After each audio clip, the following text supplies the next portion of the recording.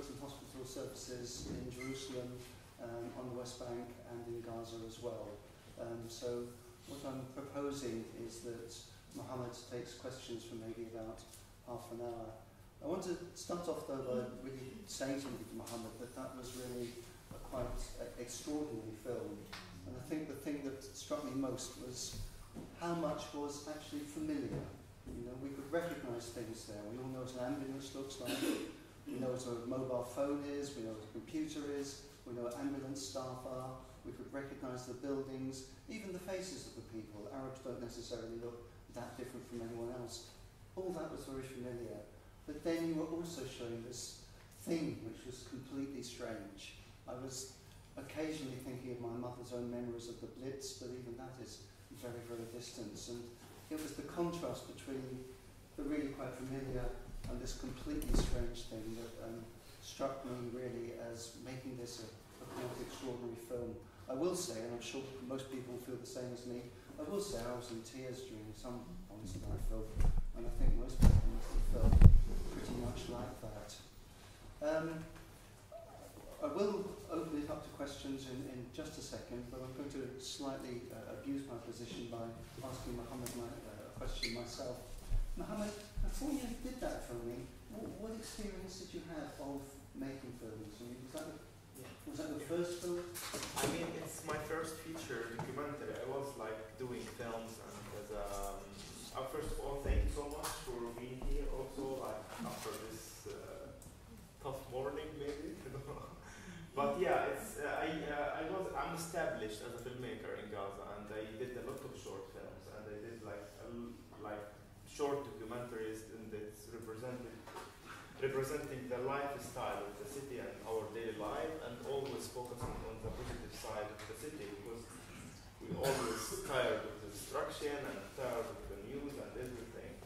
And uh, before this attacks was started, I I was working for the hospital doing uh, kind of uh, films for them, photographs, filming operations and stuff like that. So, so that's what like also made me before the uh, this attack started. I, I was like want to do something if something happened. I want to use my tool to, to use my camera because like I experienced like in the past years a lot of things, but I couldn't be I couldn't be out. I couldn't use my camera. I was like 18 when it was like uh, the 2008, 9 attacks, and then the 2012 also. But I couldn't do that because my family also, and like I have the camera, but I don't dare to use it because my my parents they were super like want to protect me and like everybody else in Gaza. So I mean, it's, it's a long answer, but it's connected to the whole concept. And then, then yeah, I mean, I, I got the access and I started. I, yeah. Okay, thank you. Um, would anyone else like to ask any questions? Just put your hands up and I'll and uh, control things. Oh, yeah, please go ahead.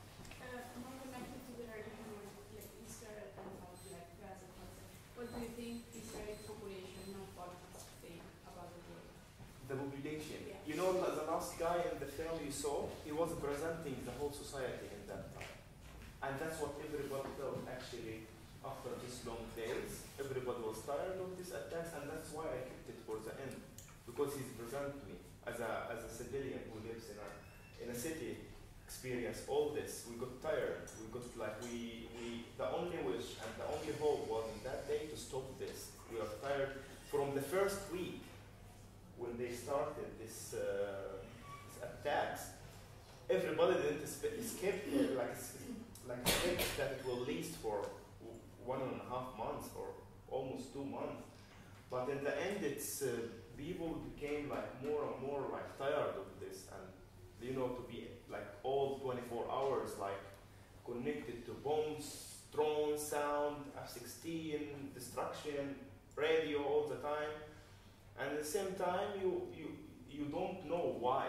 You, I mean, like, why I should be trapped in this area, and then, and it's a result of I said like politics and all these things. Uh, I don't know. it's just tiring. Yeah. Um, oh. it's really hard to find the words uh, to express how I feel watching this film. I'm sure I don't. I'm sure I'm speaking for a lot of people. Um, but I wanted to thank you first of all. Seriously, seriously, thank you for being, a, in a way, a witness, um, but also making uh, a, a, a really. Uh, it's hard to say a beautiful film, but a film that has been crafted in, a, in an incredible way, I feel, just as a piece of filmmaking and as a piece of editing. Um, and the, ch- the choices and the decisions you've made and your own narrative are really second to none. So I wanted to really congratulate you on that. Thank you so much um, for being able to bring this to us. And possibly um, there were many, many things that, like you say, moved us all. Um, and there were many, many things that open our eyes, even when we think we know what is going on in Gaza or in Palestine. But um, one of the things that I felt most moved by and that I felt was really courageous on your behalf was to keep trying to ask the people you're working with, what do you think? Tell me what you think. And no one ever says anything. and it felt like um, deeply poignant that actually no one has any words. People are just in survival work mode. And to even begin to speak, uh, possibly either the floodgates will open or there's no words anymore. But this is my impression as a viewer. It's my kind of reading into this. And I was curious, what was it like? What made you want to ask those questions? How did it feel trying to ask those questions? And was there any response at any point? I mean, they were. I mean, especially Abu Marzouk, nobody was answering. I mean, the other guys, they want like they loved to be filmed, but Abu Marzouk especially, he was like a little bit not into the camera mode, and I and that was my challenge in the beginning. How I became friend and not about the camera. I would be a part of this unit and then see. And uh, in general, like I was asking this question because usually, like I don't know the exactly this questions comes in my mind because I feel I want to know what's exactly the answer. I don't have no, nobody can at that moment nobody can give me a right answer. Not a, not as a like a filmmaker or not a, like as a somebody who want just to uh, uh, drag or like trying to question. No, it was like for me like something I really was wonder. What do you think? What do you feel? And at the same time, uh, for myself, I don't have also word to say. That's why I brought these questions.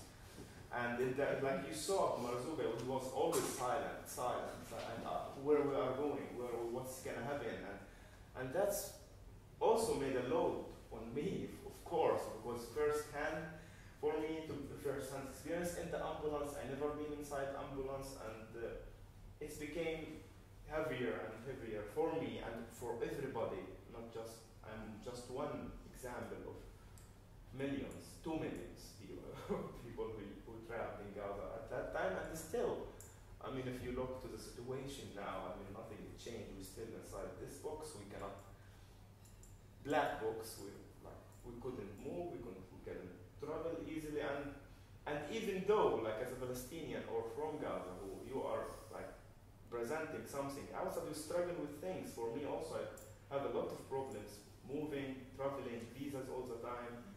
So it's not easy, and that's a choice I choose. I didn't choose like to seek asylum, to be away of my country, my city. I want to be able to go back, and that's my hope at the same time. But I couldn't. I mean, nobody, like even the Arab country, they don't help us.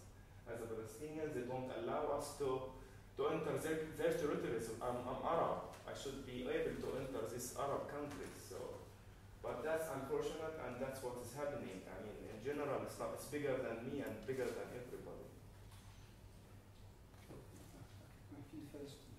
Um, thank you for bringing this film to us. And then also, uh, because we came from an international school where we have both Palestinian and Israeli in our school, and then like in the school they have a very good relationship, but you know the people from Gaza they have experienced these attacks, and it's hard for them to see Israelis as how we see them as potential friends. Yeah. So how do you see the relationship between these countries, Yeah. like a civilian? Yeah, I mean, my generation, where we grew up, I never met an Israeli in real life. Like I would just see them as a so an experience before they, they left Gaza in 2005. We saw them as a soldier, sometimes throwing stones, stuff, but that's what the image where comes for me as a Palestinian who lived in Gaza. We like maybe my dad generation, they are usually being connected more to the they see each other, they go work together. But my generation, where we grew up in the first Intifada, like we were born and raised in the first Intifada and second, then the authority, the Palestinian authority came and some years of like being like able to live in peace, then they built the, the airport, but then again the second Intifada. For me, I, I never talked with an, an Israeli face to face. But once I came here to Europe, I looked, I saw many, and that's for me like uh, I have to use my ethic to to be able to talk to them also in the same time. So for, for me as a Palestinian from Gaza and for them to meet a Palestinian from Gaza, it's it's never happened. So when I when somebody from Israel meets, they, they feel there is like a monster or somebody like who's standing like "Ah, but I'm, I'm a normal guy. I, okay, I talk to you, but uh, in my limit, I don't go deeper to you. As a human being, I don't have a problem with you, but I have problem with your government who killing me, killing my people. So that's the only issue we have. There's no dialogue. There's no, even though the governments, both government, like our government and their governments, they have a lot of negotiation in the past years, but it doesn't help for us as a people to be connected to this world and this life. So that's thing. So maybe Arabs or Palestinians who live outside, they know more about this because they see them everywhere. They like hear that. So maybe that's more like it's more because they connected to Europe and stuff like that. But we are in the city, we couldn't meet them. The only image we get from them, that's it. The image of killing and destruction and blood, actually. Um, we've got two more questions from. Um, You, you first, yeah. Um, in terms of this film, have you ever gotten any kind of response or perhaps even backlash from Israel? Many Israelis saw the film and they were, were the same emotion as you, I believe, or the same reaction. And but at the same times, uh, they were asking me some questions like, like uh, what do you think of Hamas trying to bring some politics? What do you think of this? For me, like I, I mean, I lived in Hamas period, and okay, there is a lot of problems. It's like they didn't get their chance to do be leading the the they got elected. I'm not Hamas, I'm not Fatah, but as a like um, they turn into the government, they took over the city, and then they built this own territory for them. But it's not still it's in the part of the whole issue.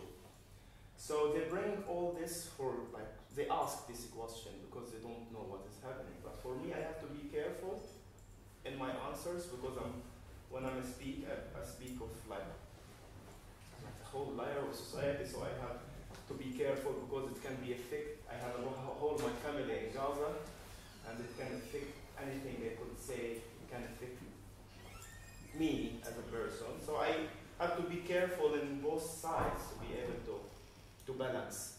So I, but I give you your need of your question, of your answer, but I don't give you what like the solution. The solution nobody can give me it. So yeah.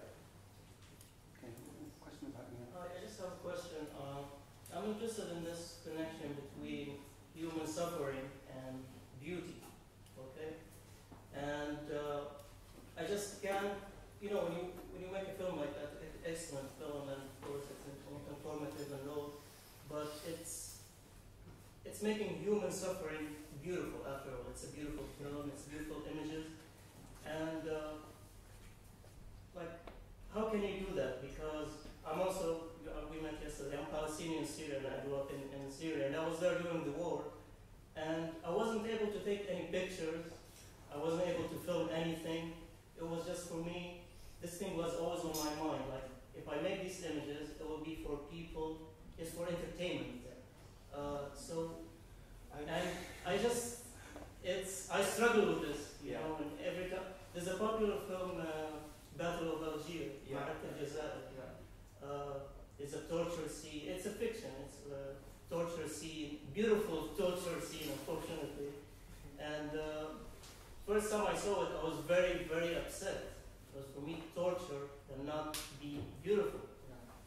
I mean, so I mean, for me, like before I met, I edited or finished this film. I was all, all, all the works I have done. I was focusing on the beautiful side of the city of Gaza. I was always being positive, trying to bring something positive to show to the world in exhibitions and other pieces of art. And I did an initiatives in Gaza uh, called Like This We See Gaza, and how to teach, like teaching young adults within filmmaking and photography and how we can I can make them see things in a beautiful eyes. And that's I think and maybe like as an artist I'm, I'm called like artist because I used to do a lot of artworks graffitis street art stuff like that. So I used to be connected to the field in a way. So my eyes maybe I don't know it was a train to, to, to show some beauty in a way. So that's maybe connect it can be connected for you as a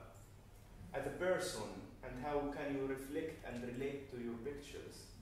So i, I mean and for me usually in my mm-hmm. life i'm a positive guy. I, where, where i go like i try to bring positive things even though i i've been through many crazy things until now with my visa situation and so but still there is hope and stuff. And that's how to bring this imagination and picture. So that's what i tried. And always i have still beautiful images, a lot about Gaza and in Gaza. I hope I. Do you feel strongly like to try and to pass a message to people so they know the truth? Or I like for me, like personally, I feel sick and tired every time. You know, because everybody knows what's happening in Gaza and Yeah, yeah, Syria, yeah. and so I mean, um, you know, when when you make something, and you say, I just want to pass this message, and you feel strongly about it. Do you feel this way? yeah, I feel this way because like if I don't tell this, nobody will tell it in this way.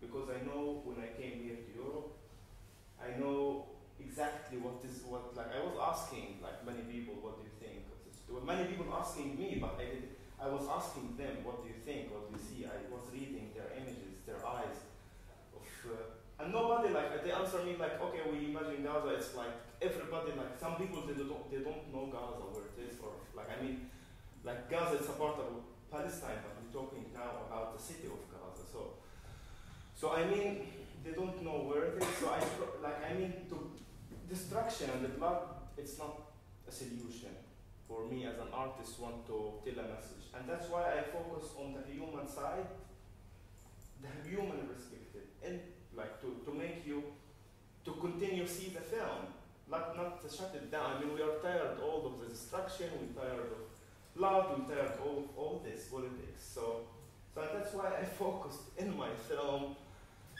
to do that, to try to bring.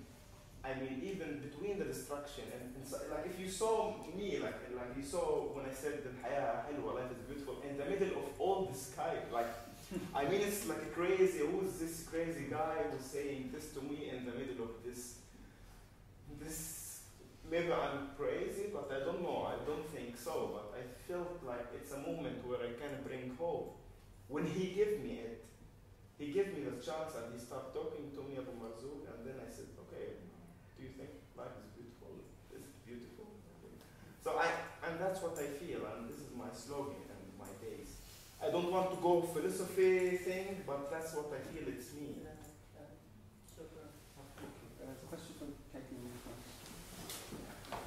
Uh, I just want to say a bit about that because I'm part of a group of us who, for the last 22 years, have held a vigil every Tuesday in, in Cardiff for Palestine. So many people come up and they're, they're very ignorant. They don't know where Gaza is. They think Gaza is a, probably a little area within Israel. And these Palestinians, people are just the problem Arabs. They're always causing trouble.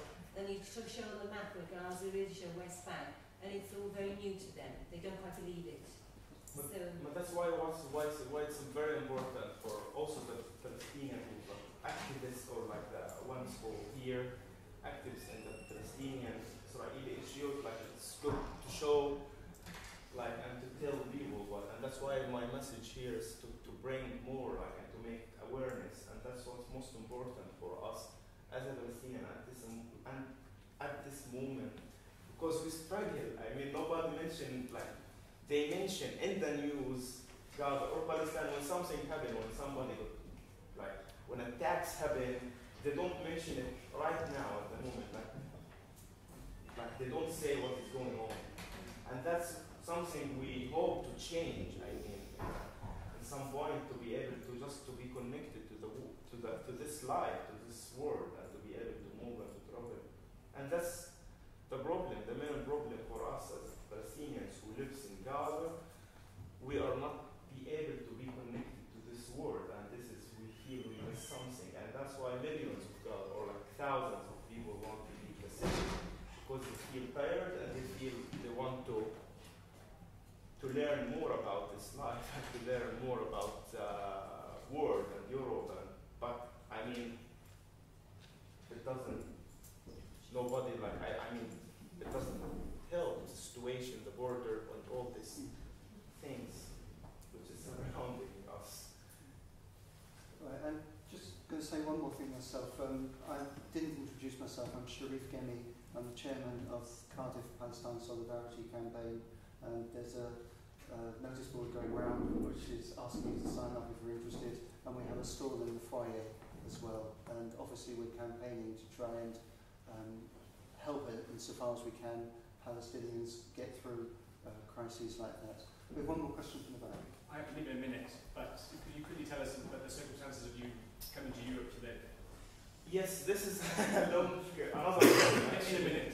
But in, a, in less than a minute, I came to Norway for, I went, like, I was invited to go to Norway to be a part of workshops, doing seminars around the country.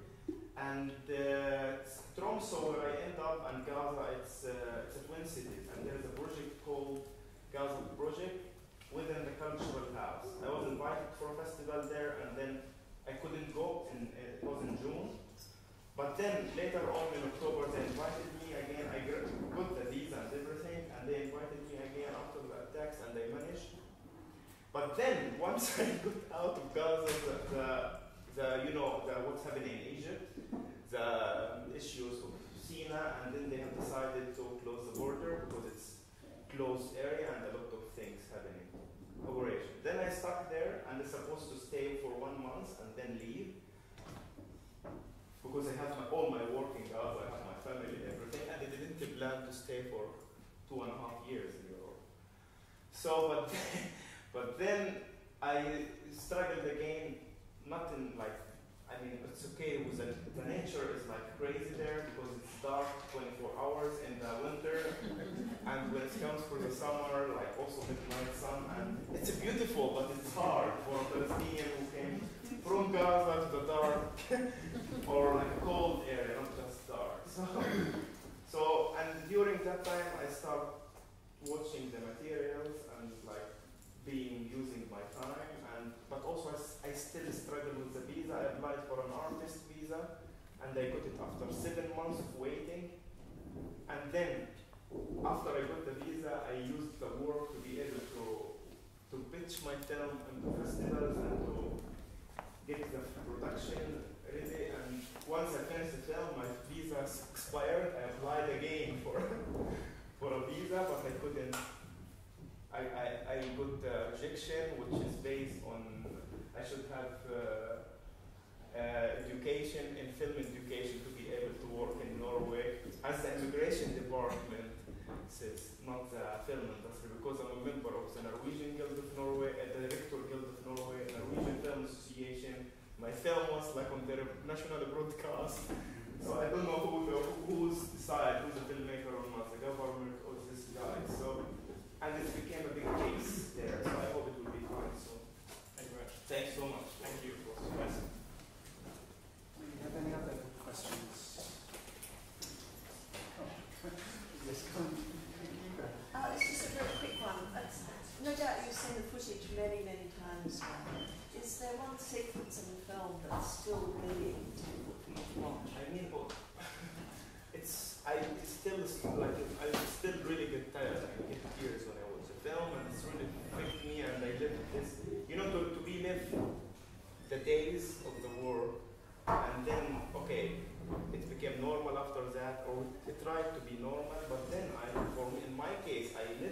effective now.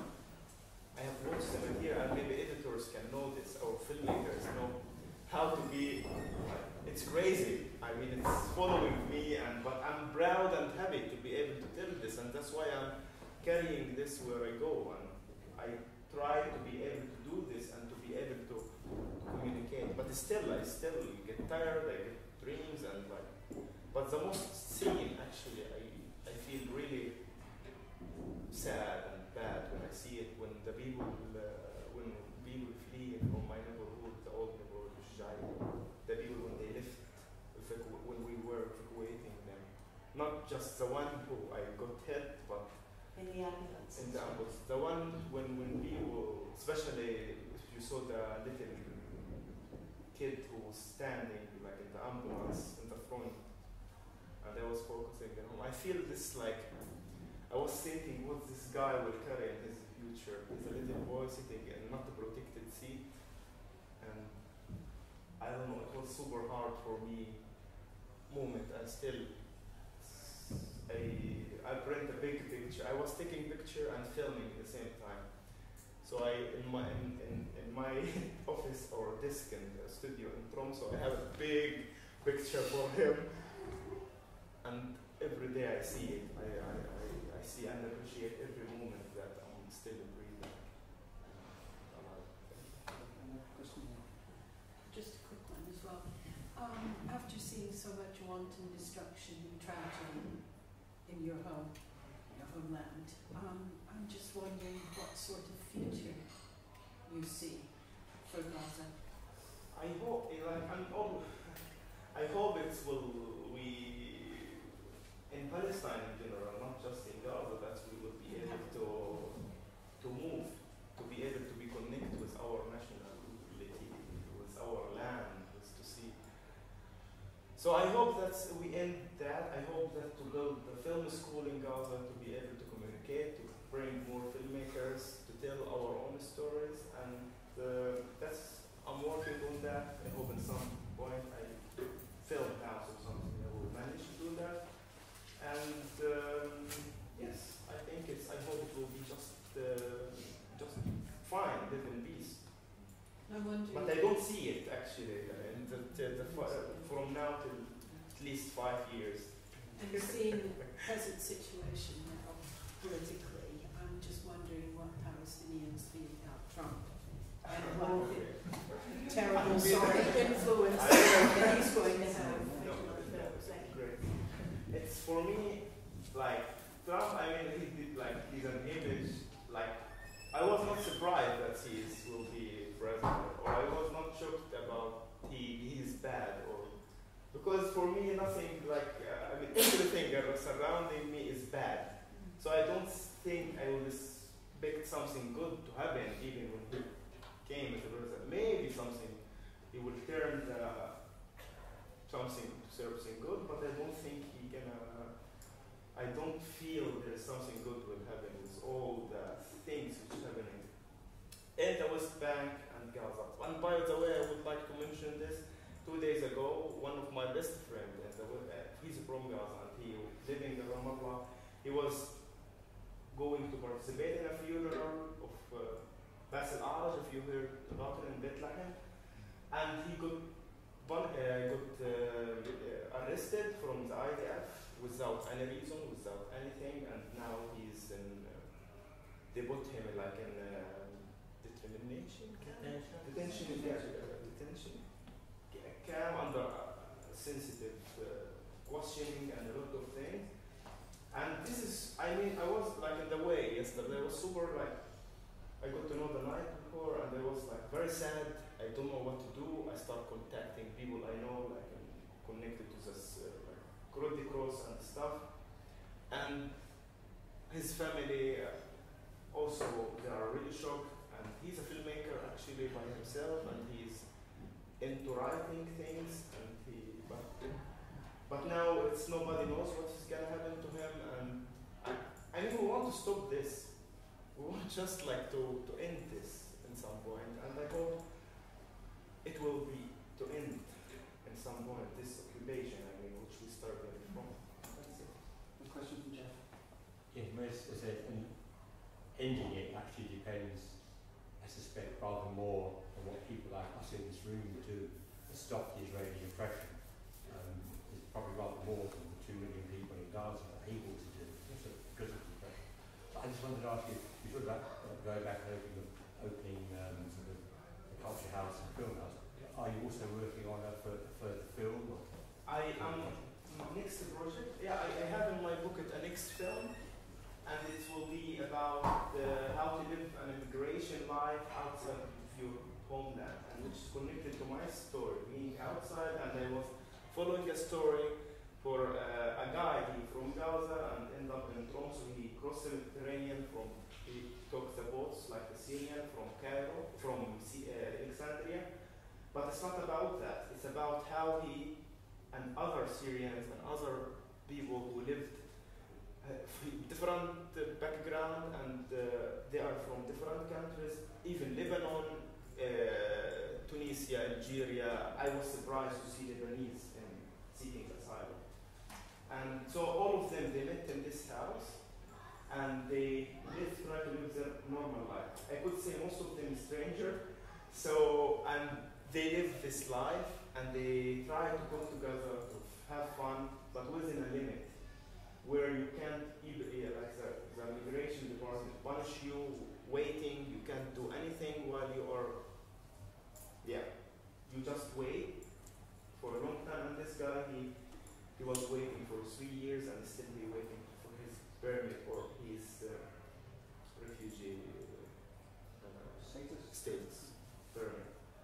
So I and also connected to my story and what I struggled from. It will be in between. I have load of footage to be watched, so so I hope We'll stop there. We asked Rod to do his presentation, but can yes. we thank Mohamed? Thank you.